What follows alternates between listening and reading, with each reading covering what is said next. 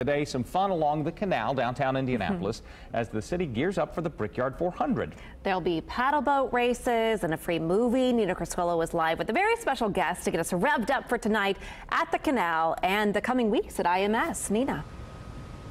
Hey, good morning, guys. Yeah, you said I have a special guest. Doug Boles is here with us this morning, and I think we should have maybe entered the Brickyard pit stop paddle because we were pretty good at maneuvering this just a moment ago. We were pretty good, but I think registration is closed. But we're It still is. encouraging people to show up because we're going to have a great night tonight promoting the, uh, the Big Machine Vodka 400, but kicking it off with a pit stop paddle this evening. Yeah, and some great prizes if you win, right? Yeah, absolutely. You know, you, you can't have a great event without great prizes. So we're encouraging teams to come down. And those people, even people that haven't been able to register, come on down, cheer for those teams, and then stay around and watch Talladega Nights. Yeah. a movie down here on the on the canal. Yeah, about two weeks away from everything kicking off at IMS with the Brickyard 400.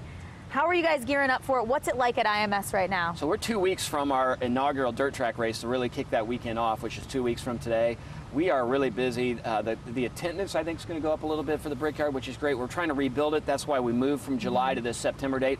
Hopefully the weather is going to be cooler, although weekend weather this weekend looks like it may not be the case, but we, we can't wait. We're, we're really excited. We love having NASCAR. It's the 25th running of, of the Brickyard 400. Hard to believe. I saw that 25th year for that. Obviously, more than 100 years with the Indy 500. You guys could easily say, "Hey, this is just the way we do things," and rest on your laurels. But that's not what happens out at IMS. No, absolutely. A- And this community has adopted us and really embraced the Indianapolis Motor Speedway. And we're trying to make the Brickyard 400 fun again. We want people to come back out. We can't rest on our laurels, and we're going to work our tail off to make sure it's an event that everybody's proud of, whether they attend or not. Of course, big event coming up. Let's talk about what's happening tonight, though. So we've got the Brickyard Pit Stop Paddle. I love saying that. That starts at 5 o'clock tonight. Teams are going to race in these, where Doug and I are, between the Ohio and New York Street Yep. stops on the canal. And then that'll wrap up around 6.30. Sunset Cinema on the canal starts around 7.30 with the movie screening at 9. That's a free event, so you can come watch Yep. Talladega Nights, just hang out at the canal. If you do want to float, like I was last hour, Doug, that's 20 bucks. You get to keep the inner tube, and you get a Sun King beer for it, so not too bad. Which is a pretty good, that's a pretty good value. You know, get, the, get that Sun King beer and get an opportunity to float on a, in a branded uh,